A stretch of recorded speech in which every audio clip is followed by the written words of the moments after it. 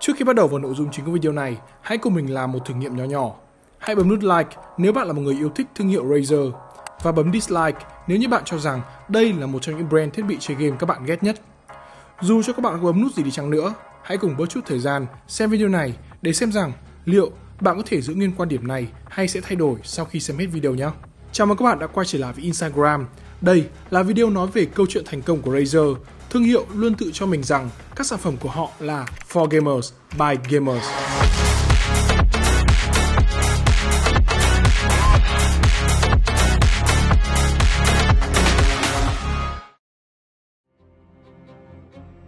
Câu chuyện bắt đầu với Milian Tan, một người sinh ra trong một gia đình rất bình thường ở Singapore, với cha là một người tư vấn bất động sản và mẹ là một người giúp việc tại gia. Cùng với đó là ba người chị em khác, mặc dù không phải những người ngậm thìa vàng từ nhỏ. Hai trong số bốn anh em đều đạt những thành công nhất định ở trong sự nghiệp. Trong đó có tiến sĩ Min Han Than, bác sĩ, nhà khoa học rất nổi tiếng tại Singapore. Ngay từ khi còn nhỏ, Milan Tan đã có cho mình niềm đam mê mãnh liệt với trò chơi điện tử. Anh thà dành cả ngày bên chiếc máy tính của mình còn hơn là ra ngoài chơi. Cũng giống như ba bậc phụ huynh khác hiện nay, bố của Lian Tan vào thời điểm đó có vẻ như là một người khá chiều chuộng con trai mình, mua cho anh một chiếc máy tính Apple II cho cái gọi là nhu cầu học tập. Với mức giá thời điểm ra mắt là 1.298 đô, tương đương với khoảng 6.500 đô vào năm 2023, tức là đâu đó 160 triệu Việt Nam đồng. Một giai thoại thú vị chưa được kiểm chứng đó là việc Lian Tan và ông anh của mình đã phải dùng nước đá để làm mát cỗ máy của mình nguội lại sau mỗi lần cày Castle Wolfenstein và Prince of Persia quá chớn. Rõ ràng, ngay khi còn nhỏ, Milian Tan đã thể hiện một niềm đam mê mãnh liệt với video game. Tuy nhiên, vào thời điểm đó, tức là trước cả những năm 2000, việc chơi game kiếm được tiền, đặc biệt là một đất nước châu Á như Singapore, khi mà bạn có thể bị ăn đòn khi đạt điểm B trên lớp chỉ đơn giản bởi vì nó không phải điểm tối đa. Thì Lian Tan cũng giống như nhiều người trong số chúng ta, phải lựa chọn một con đường an toàn hơn, đó là thay đổi ngành luật tại Đại học Quốc gia Singapore. Trường đại học thường xuyên lọt vào top 20 các bảng xếp hạng đại học tốt nhất trên thế giới. Và vào thời điểm này, Milian Tan cũng đã gặp được định mệnh của cuộc đời mình. Tất nhiên, không phải những nghĩa người ta hay hiểu. Người này đó chính là Robert Razor Guy Krakow, nhà đồng sáng lập tương lai của Razer. Vào thời điểm đó, đã gần 60 tuổi và đang là GM của tập đoàn Kana LLC. Hai ý tưởng lớn gặp nhau, hai người đều cho rằng hiện tại trên thị trường đang thiếu một sản phẩm chuột chơi game hiệu năng đỉnh cao dành cho các game thủ tryhard. Và thế là chúng ta có Razer Boom Slang, một trong những con chuột bi gaming đầu tiên trên thế giới.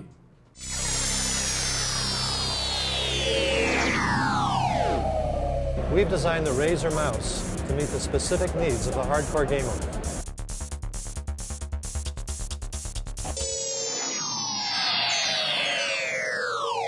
This mouse you're using right now is a uh, 1000 DPI mouse. Standard scroll wheel is about 18 dots per revolution. This particular mouse is 45.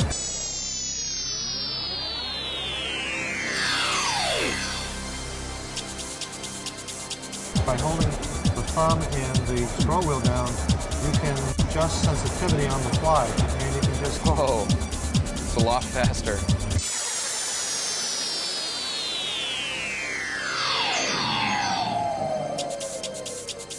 It blows away the competition. Great mouse. Yeah, I'd buy one today if I could. Razer Boomslang is going to revolutionize the way players play these games.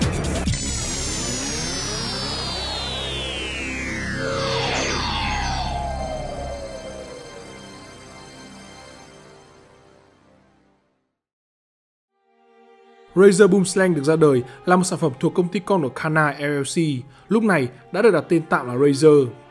Một sự thật thú vị bên cạnh cái tên này, đó là lúc đầu Krakow định đặt là Razer với sự sắc sảo và ngầu của một lưỡi dao cạo. Tuy nhiên, lỗi do ông đánh máy mà nó đã biến thành Razer, một cái tên thậm chí còn ngầu và độc đáo hơn. Mặc dù đạt được một số thành công nhất định, tuy nhiên lúc bấy giờ Razer và Boom Slang cũng chỉ giống như một công việc tay trái của cả Liantan và Krakow. Cộng hưởng với việc công ty mẹ ngừng hoạt động vào năm 2000 thì dự án của họ cũng đã tạm dừng ở đó. Miliantan sau đó nhận một công việc tại tòa án tối cao của Singapore với vai trò như một luật sư.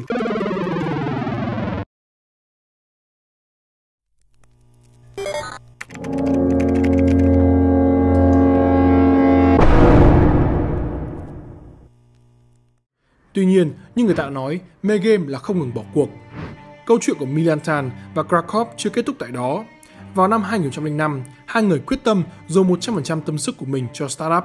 Họ mua lại thương hiệu cũ Vào đó cũng là lúc Razer Inc. chính thức ra đời với hai trụ sở, một tại Singapore, quê nhà của Milian Tan, và một tại California, nơi Krakow đang sinh sống. Sau này, Milian Tan đã chia sẻ rằng khi thành lập Razer Inc., anh ta chưa hề có một bản nghiên cứu thị trường nào cả. Mọi thứ đều rất mơ hồ, thậm chí khi đó người ta còn chưa có một định nghĩa nào rõ ràng về thị trường thiết bị gaming. Anh thành lập Razer chỉ đơn giản là vì đã xác định rằng bản thân anh là một game thủ và anh biết rằng đâu đó ngoài kia sẽ có những người cần đến những thiết bị được thiết kế chuyên biệt dành cho việc chơi game. Tôi sẽ thành lập Razer nếu cha mẹ phát hiện ra dù họ có thể không thấy vui vẻ khi tôi tự ý quyết định thay đổi nghề nghiệp của mình, nhưng tôi tin họ vẫn sẽ ủng hộ tôi.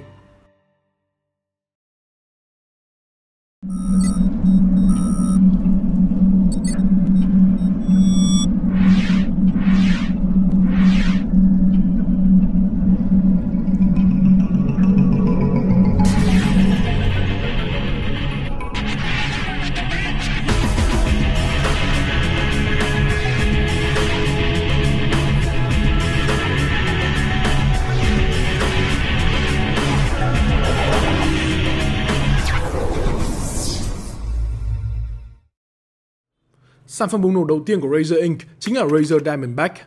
Ra mắt vào năm 2005, đây là một quả bom tấn thực sự vào thời điểm đó, khi mà đây là một trong những con chuột gaming đầu tiên trên thế giới sử dụng mắt đọc quang học với thông số cực kỳ khủng khiếp. Thiết kế đối xứng được tinh chỉnh bởi ý kiến từ nhiều game thủ eSports, 1600 DPI, 40 IPS cùng khả năng trình độ nhạy thông qua phần mềm. Với rất nhiều thông số mà chưa con chuột nào có, hay chính xác hơn là chưa nhận xuất nào nghĩ nó cần phải có trên một con chuột chơi game. Diamondback thành công tới nỗi nó nhận được vô vàn lời có cánh từ các báo, tạp chí hay diễn đàn review uy tín. Mặc dù rất thành công, nhưng đây vẫn chưa phải bước ngoặt về chuột chơi game của Razer.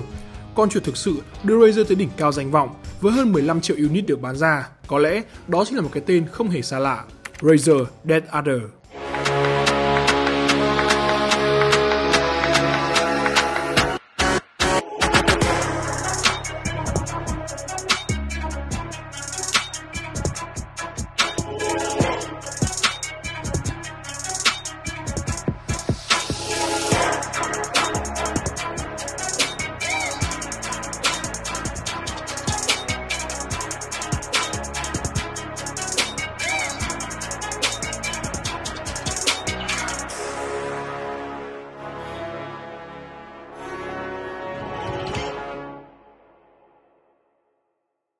Ra đời phiên bản đầu tiên vào năm 2006, Razer Dead Adder hay DA đã nhanh chóng trở thành mẫu chuột gaming công thái học được ưa chuộng nhất trên thế giới.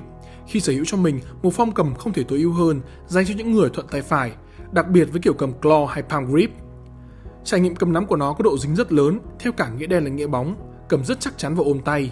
Và một khi đã quen với form của DA thì bạn khó có thể đổi sang dòng chuột khác được.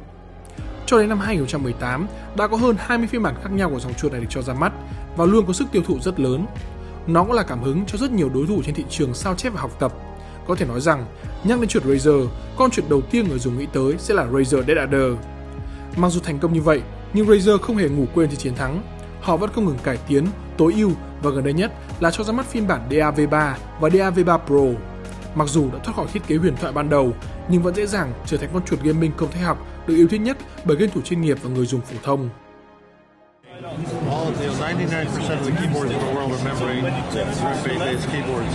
This is this is full mechanical, and mechanical keyboards really will give you uh, a, a much more distinctive click, both audio and physical. But they also return the, the, the feedback or the rebound is, is twice as fast as any other keyboard.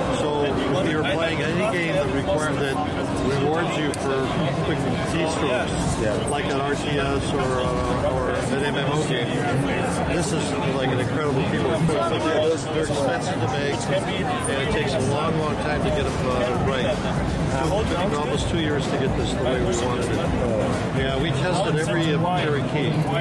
They make four different grades of Cherry Key, and we wanted to find the one that had the fastest response time, the least, the least amount, the, the least amount of resistance, and uh, the best, the fastest return. So it took us about. Um, uh, Uh, it took us about a year of testing with gamers and prototypes until we actually found uh, the, the one the run that we liked, and now we bought all because this we can't keep this in stock.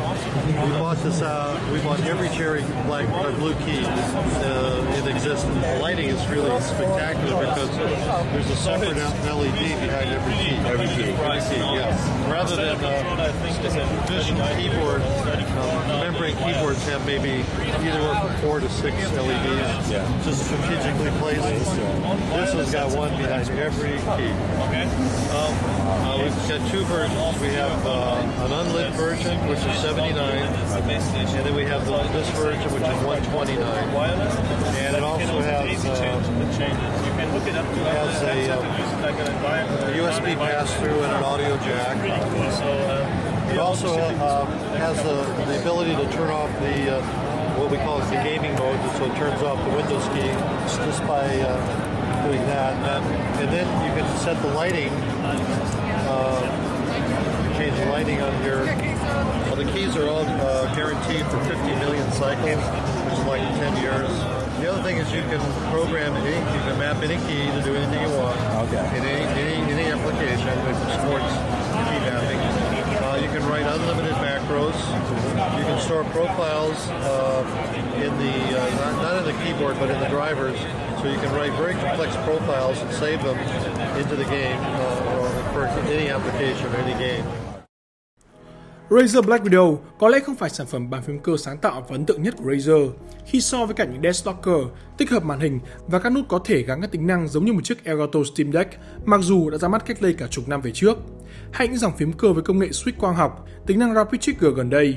Razer Black Widow chính xác là một sản phẩm thể hiện khả năng nắm bắt xu thế và tạo ra xu thế của Razer đối với thị trường bàn phím. Đây là một sản phẩm được ra đời vào thời điểm khái niệm phím cơ bắt đầu trở nên phổ biến và được nhiều người quan tâm. Đây là một trong những dòng phím cơ gaming đầu tiên thế giới và là mẫu phím cơ gaming đầu tiên của Razer.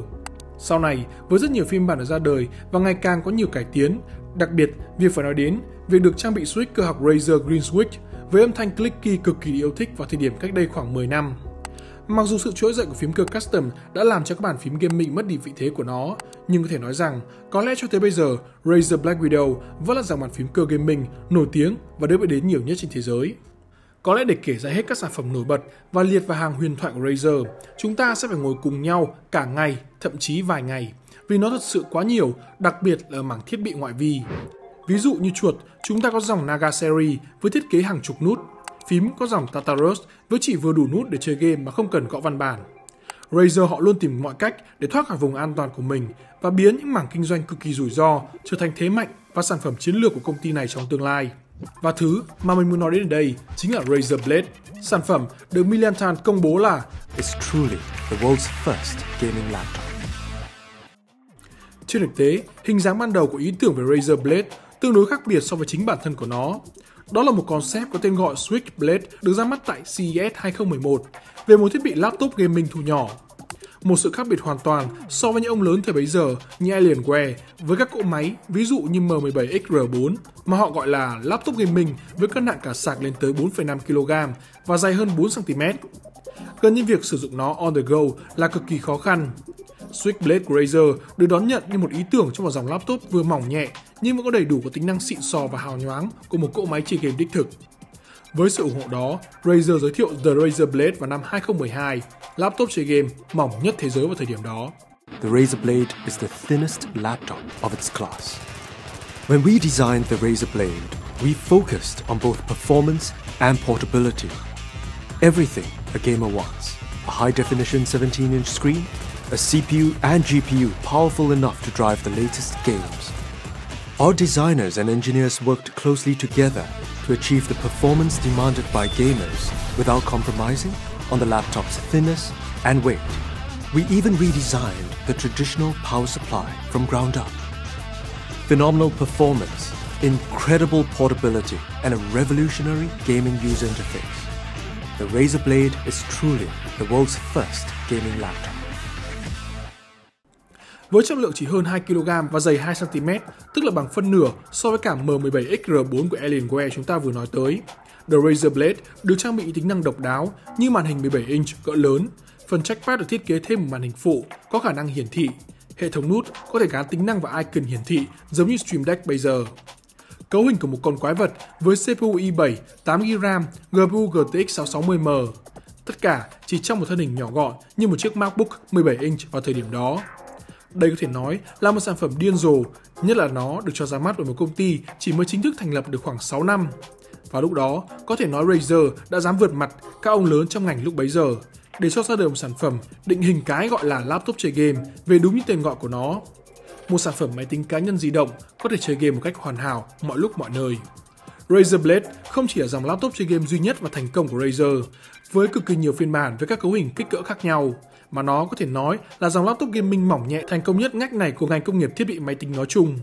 Rất nhiều người, kể cả anti-fan của Razer phải thừa nhận rằng đồ gaming gear của Razer ở một thời điểm nào đó có thể lởm, nhưng laptop của họ thì luôn ở một đẳng cấp khác và hầu như được lòng giới game thủ. Mặc dù tất nhiên là vẫn có xảy ra các lỗi ở các sản phẩm. Tuy nhiên, nếu xét về mặt bằng chung thì Razer Blade là dòng sản phẩm mang tính biểu tượng của Razer, là sự kết hợp hoàn hảo của các yếu tố ngoại hình, hiệu năng và đặc biệt là chất lượng hoàn thiện. And what we're going to be presenting today, in a single line, is the ultimate in mobile entertainment. It's a smartphone, and we're calling it the Razer phone. All right. So, are you guys ready to hear about the Razer phone? All right, here we go. So, what did we do? Create the ultimate in mobile entertainment. Pretty much five things that truly differentiate the Razer phone from every other smartphone on the planet. First up, the display. We've built this together with Qualcomm. We've made sure it's got the smoothest, smoothest mobile experience ever. There's no tearing and no lag, even at the highest frame rate. Audio. We need it to look good and we need it to sound good. True to life. Cinematic audio. In the palm of your hand, you've got probably the loudest phone. They're massive speakers. Much bigger, sound better than any of the phones out there. Performance. Focus on performance all the time. We take performance to the next level. The new Razer phone, it's got insane performance. We use the flagship Qualcomm Snapdragon 835. Now the new Razer phone comes with 8 gigabytes of RAM. Just FYI, it's got the same amount of RAM as a MacBook Pro, by the way. Remember that with great power comes great battery. So let's talk about battery. It's the camera. And for the camera, it's got amazing, amazing camera performance. World's first, for the first time ever, for the first time ever, the world's first phone. This is the first phone in the world for the first time ever. For the first time ever. And the world's first. Only.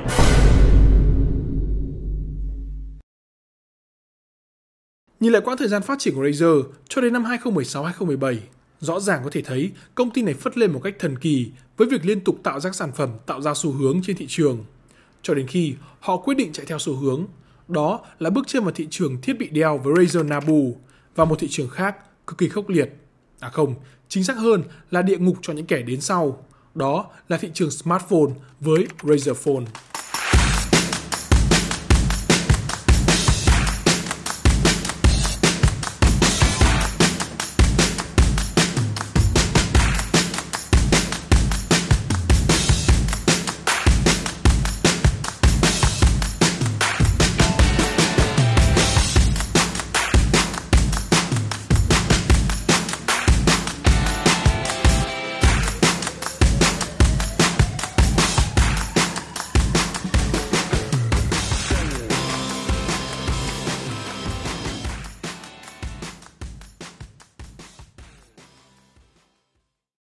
Razer chơi lớn tới mức mua lại một startup sản xuất điện thoại có tên gọi là Nextbit để phục vụ cho tham vọng đánh chiếm thị trường này của mình. Tuy nhiên, kết quả như chúng ta đã biết, không giống như chuột ở bàn phím được ra đời liên tục các mẫu hàng năm. Razer Phone chỉ mãi mãi dừng lại đời sản phẩm thứ hai.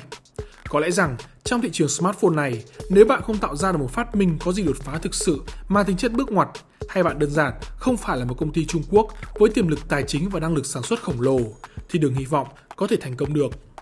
Razer Phone ra đời với một nguyên lý cũng khá ngây thơ. Một chiếc điện thoại được định hình là for gamers, by gamers. Nhưng tất cả những gì họ làm là giống với Blade. Họ tạo ra một sản phẩm đẹp, ngầu và gắn mác gaming cho nó, trong khi nó chơi game còn kém hơn cả các điện thoại Samsung và đặc biệt là iPhone cùng thời điểm ra mắt. Và kết quả là Razer Phone nhanh chóng chìm vào quên lãng sau khi tạo được tiếng vang đáng kể từ lúc được giới thiệu. Có lẽ điều này cũng là do người dùng kỳ vọng quá nhiều vào thương hiệu này về một sản phẩm đột phá như những gì họ đã làm được với Razer Blade. Tất nhiên, Razer Phone không phải thất bại duy nhất của thương hiệu này và còn rất nhiều sản phẩm, các khoản đầu tư khác không mang lại nhiều giá trị hay không thực sự thành công như dự kiến và cũng nhanh chóng bị hủy bỏ sau đó. Việc thử nghiệm và thất bại cũng là việc hết sức bình thường mà kể cả các ông lớn trong làng công nghệ cũng phải trải qua. Thậm chí, có những sự thất bại đã được dự báo trước nhưng vẫn bắt buộc phải làm để phục vụ cho một mục đích nào đó. Trong trường hợp của Razer, có lẽ đó là cái họ cần để có thể chính thức IPO vào năm 2017 tại sàn chứng khoán Hồng Kông, với định giá công ty ở mức hơn 500 triệu đô la. Việc Razer lên sàn chứng khoán năm 2017 đã thực sự tạo ra tiếng vang rất lớn và đặt nhiều cho nhà đầu tư và fan của công ty này thực sự hy vọng về danh xưng mà họ thường hay nói về Razer là Apple của giới gaming. Okay. Mặc dù vậy, hy vọng và niềm tin này nhanh chóng biến mất khi công ty này hủy niêm yết tại thị trường Hồng Kông và quay trở lại thành một công ty tư nhân vào năm 2022. Lý do đằng sau câu chuyện này, chúng ta khó có thể đủ kiến thức và thông tin khẳng định được. Tuy nhiên, theo các thông tin thì thời điểm IPO công ty này, nó đã kêu gọi được hơn 500 triệu đô từ việc phát hành ra công chúng. Tuy nhiên, cho tới thời điểm nó quay trở lại công ty tư nhân và hủy niêm yết, thì để thực hiện điều đó, Razer và ba lãnh đạo của họ chỉ tốn khoảng 350 triệu đô để mua lại toàn bộ số cổ phiếu được phát hành ra. Đó là còn chưa tính đến tỷ lệ lạm phát sau 5 năm. Một phép toán so sánh đơn giản thì có lẽ chúng ta đã ngầm hiểu câu chuyện diễn ra ở đây là gì. Nhân tiện nói về câu chuyện cố gắng trở thành Apple và đa dạng hóa công ty của mình, thì Razer cũng là một trong số những công ty chuyên về game và các dịch vụ liên quan hiếm hoi đầu tư khá nhiều vào việc phát triển các sản phẩm, phần mềm và kinh doanh dịch vụ. Cái tên thành công nhất và được nhắc đến nhiều nhất chắc chắn là Razer Chroma, hệ sinh thái đèn LED RGB chứ danh của thương hiệu này. Nó có thể sinh được gần như tất cả sản phẩm Razer cho ra mắt mà có đèn LED RGB. Sự phổ biến của nó nổi tiếng đến mức nó đã trở thành một dạng meme ở trên Internet về việc khi Razer ra mắt bất kỳ một sản phẩm gì. Cái đầu tiên người ta hỏi chưa chắc đã là hiệu năng của sản phẩm, mà đó là việc nó được trang bị hệ thống LED Razer Chroma hay không. Hệ thống này sẽ được tích hợp vào một phần mềm được gọi là Razer Synapse, được ra mắt vào năm 2012 với danh xưng là phần mềm cá nhân setting game và thiết bị chơi game trên nền tảng cloud đầu tiên trên thế giới. Hiện tại tính ra, nó đã được phát triển và sử dụng lên tới hơn một thập kỷ và phải nói rằng đây là một phần mềm tràn ngập lỗi, cả lỗi sử dụng và nỗi đau của người dùng. Về mặt ý tưởng thì đây là một phần mềm all-in-one được tích hợp cực kỳ nhiều tính năng của Razer nhằm điều khiển các thiết bị và làm vô số các việc khác, trong đó có cả việc sinh với các sản phẩm của thương hiệu khác. Tuy nhiên, cũng chính vì nhiều tính năng và phân mảng thiết bị như vậy mà độ ổn định của nó không đạt như mức yêu cầu. Việc báo sai thông tin, xung đột với máy và nhất là lỗi không những thiết bị xảy ra tương đối thường xuyên, khiến rất nhiều người, kể cả fan của Razer cũng quay ra ghét bỏ phần mềm này. Nhưng nói gì thì nói, dù ghét hay không, bạn sẽ không có cách nào khác để quản lý thiết bị của mình nếu không dùng Razer Synapse. Một thất bại khác ở mảng phần mềm và dịch vụ của Razer là Razer Pay, một nỗ lực của Razer trong mảng fintech hay ứng dụng công nghệ và tài chính. Tạm hiểu, nó là một dạng phí điện tử nhưng có một vài dịch vụ liên quan tới game. Kết cục là nó đã bị ngừng phát triển vào năm 2022. Razer vẫn tiếp tục đầu tư vào fintech, tuy nhiên dưới dạng hai đồng tiền ảo có tên gọi là Razer Gold và Razer Silver. Chính xác thì đây không phải dạng tiền ảo hay tiền kỹ thuật số mà được nhắc tới nhiều năm gần đây là cryptocurrency, mà nó giống như một dạng tiền mà các nhà phát triển game đặt trong các tựa game của họ. Với Razer Gold và Silver, các bạn có một vài hình thức để có thể kiếm được nó. Ví dụ như chiết khấu khi mua sản phẩm Razer trên store của họ, nhận giveaway, chơi game để nhận và các bạn có thể sử dụng những đồng tiền này để mua game, nạp skin và thậm chí mua các thiết bị phần cứng của Razer. Có thể nói, đây là thành công hiếm hoi của Razer trong lĩnh vực phần mềm và dịch vụ và hiện tại vẫn đang có khá nhiều người sử dụng. Yeah. I'm ready to play now. Put me in the came here to prove it. I'm ready to do it. I can't be afraid now. Put me on the stage now. I'm ready to rage now. I feel like an animal stuck in a cage and I'm ready to break out. My town, my crown. We know what it takes to be reaching the top. My town, none of you people can tell me to stop. My town, my crown. We know what it takes to be reaching the top. We reaching the top. So tell me, we reaching the top. We know what it takes to be the top. Vậy để phần cuối cùng của video này, chúng ta hãy cùng nhau thảo luận về đáp án cho câu hỏi Tại sao Razer lại thành công đến như vậy? Yếu tố đầu tiên thể hiện trong chính slogan cũng như triết lý của công ty này, For Gamers, by Gamers, tức là mang tới mọi thứ dành cho người chơi game và được mang tới bởi những game thủ đích thực. Điều này xuất phát từ việc hai nhà sáng lập của công ty này đều là gamer và thực sự có niềm đam mê mãnh liệt đối với việc chơi game. Đây là yếu tố tiên quyết khiến cho Razer có tỷ lệ thành công cao đến như vậy khi cho ra mắt các sản phẩm phục vụ cho việc chơi game. Điều này dường như đã trở thành kim chỉ nam cho toàn bộ công ty, đặc biệt là đội ngũ nghiên cứu và phát triển sản phẩm, khiến cho các sản phẩm của họ được ra mắt có thể ở thời điểm phiên bản đầu tiên chưa được hoàn hảo, nhưng phần nào đó tạo ra một xu hướng hay một nhu cầu mà trước giờ game thủ có khi còn chưa biết họ cần để có thể cải thiện khả năng chơi game. Hãy cùng tưởng tượng Razer là một con người thì đây chắc chắn sẽ là một game thủ bởi họ sẽ yêu thích những thứ hài hước, điên rồ và có phần không tưởng. Hài hước thể hiện ở việc ngay cả bản thân CEO công ty này cũng thể hiện mình là một người rất năng nổ trên internet và luôn yêu thích chia sẻ các meme liên quan tới mình hay tới công ty của mình. Những trò đùa này đôi khi nghiêm túc tới mức làm nhiều người tưởng thật. Điển hình như việc truyền thống vào mỗi ngày cá tháng tư hàng năm, cũng như rất nhiều công ty công nghệ khác, Razer sẽ ra mắt một số sản phẩm cực kỳ ảo mà thậm chí nó không phải tới từ tương lai, mà giống như chui ra từ trí tưởng tượng của con người thì đúng hơn. Nhưng cái cách mà công ty này thực hiện trò đùa này cực kỳ nghiêm túc, họ sẵn sàng chi cả đống tiền ra để tạo những video quảng cáo không thua kém bất kỳ một sản phẩm thật nào. Nếu bạn là một người thường xuyên theo dõi các trò đùa này thì có thể nhớ cách đây khoảng 7 năm, Razer giới thiệu một dạng huyết thanh siêu chiến binh có tên gọi là Project Venom V2. Một loại thuốc tiêm giúp game thủ tăng cường hiệu năng chơi game của mình lên mức tối đa, thậm chí trở thành một siêu cỗ máy chiến game. Tất nhiên, tích hợp cả LED Chroma. Video quảng cáo trò đùa này đã đạt con số 7 triệu view và có gần 30.000 lượt bình luận, một con số rất ấn tượng. Không chỉ Venom V2 mà còn rất nhiều các trò đùa khác thương hiệu này hàng năm và hầu hết tất cả đều đạt được lượng tương tác khủng. Còn về khía cạnh điên rồ, các bạn có thể nhìn vào các concept Razer giới thiệu tại các kỳ CES. Mặc dù hầu như không có sản phẩm chính thức, nhưng những concept này đều thể hiện rõ việc Razer biết về những thứ game thủ muốn, cho dù có thể nói là nó không tưởng với giới hạn công nghệ ở thời điểm hiện tại. Yếu tố thứ hai, đó chính là cách mà Razer xây dựng thương hiệu của mình giống như một dạng tôn giáo và làm mọi cách để thu hút những tín đồ cuồng nhiệt của mình mang tới cảm giác cho người dùng cho dù là người bỏ tiền ra mua sản phẩm của thương hiệu này nhưng họ lại cảm thấy tự hào khi sở hữu nó và được trở thành một phần của thương hiệu từ việc xây dựng hình ảnh công ty, thiết kế bao bì, các công cụ truyền thông, mọi thứ đều thể hiện sự gai góc, ngầu mà gần như game thủ nào cũng yêu thích. Hay việc xây dựng các Razer Store ở nhiều thành phố lớn trên thế giới, tổ chức các sự kiện, có những buổi giới thiệu sản phẩm của riêng công ty này để các tín đồ của Razer có thể tụ hội và như mình đã nói, cảm thấy như là một phần của thứ gì đó lớn hơn. Nói không ngoa, Razer rất biết cách thôi miên các fan cứng của mình và làm cho họ cảm thấy như biết ơn thương hiệu này vì đã được sở hữu sản phẩm của họ. Cho dù mình là khách hàng và thậm chí sẵn sàng để gây chiến và cãi nhau với những anti-fan hay những người chia các sản phẩm của Razer. Yếu tố cuối cùng có lẽ sẽ khá gây tranh cãi, nhưng đây là một thứ mà bất kỳ công ty nào cũng cần có. Đó chính là sự may mắn, hoặc có thể gọi là kết quả của sự tích tụ công sức của cả quá trình xây dựng công ty. Ví dụ cho yếu tố này, như trường hợp Razer liên tục gặp may khi những đội tuyển thương hiệu này tài trợ trong các tựa game eSports. Nếu không vô địch thì cũng đạt thứ hạng rất cao trong các giải đấu hàng đầu của các tựa game eSports phổ biến.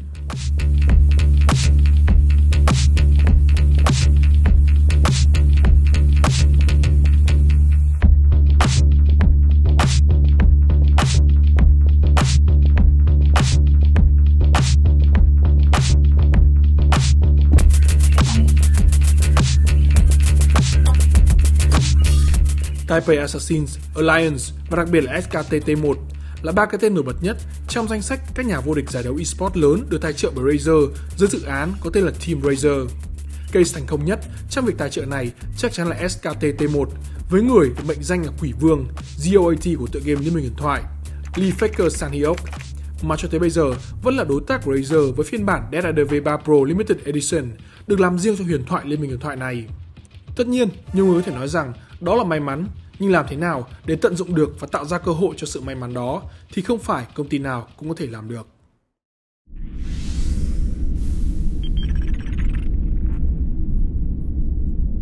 Hundreds of thousands of virtual battles rage around the globe at the click of a mouse and press of a key. An entirely new paradigm for competition has captivated the world electronic sports. The best players go from playing remotely to waging war in sold out stadiums for million dollar cash prizes.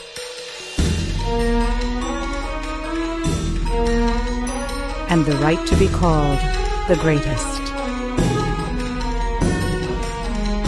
Join us as we take a look into the brilliant minds, the masterful tactics, and the lives of some of the greatest gamers the world has ever seen.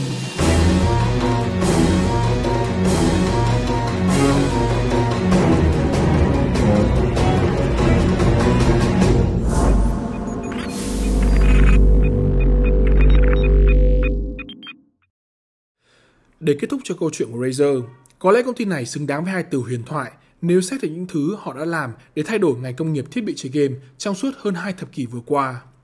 Đây thật sự là một thị trường rất ngách và đối tượng khách hàng cực kỳ đặc thù và khó tính. Quãng đường phía trước, để tiến tới các dấu mốc tiếp theo mà công ty này muốn đạt được sẽ cực kỳ khó khăn đối với tình hình hiện nay. Chúng ta hãy cùng chờ xem liệu Razer có thể tiếp tục trở thành nên lớn mạnh như thế nào và quan trọng nhất là việc họ có thể giữ lời hứa của mình luôn mang tới sản phẩm được gọi là for gamers, by gamers hay không. Và đó là toàn bộ những gì mình muốn chia sẻ cho các bạn ở trong video này. Cho thời điểm xem hết video này, liệu các bạn đã có thể thay đổi nút like hay dislike của mình hay chưa? Hãy cho mình biết nhé. Cảm ơn nhà tài trợ TechSpace.vn cũng là đơn vị phân phối chính hãng các sản phẩm Razer với mức giá cực kỳ hợp lý và phải chăng tại thị trường Việt Nam. Các bạn có thể xem tại đường link mình để phần mô tả và phần bình luận của video này. Còn bây giờ, đừng quên bấm like, share và đăng ký kênh Instagram ủng hộ mình. Nếu các bạn thích video tương tự như thế này, hãy gợi ý cho mình thương hiệu tiếp theo bọn mình nên làm ở trên kênh Instagram nhé. Xin chào và hẹn gặp lại các bạn rất sớm thôi.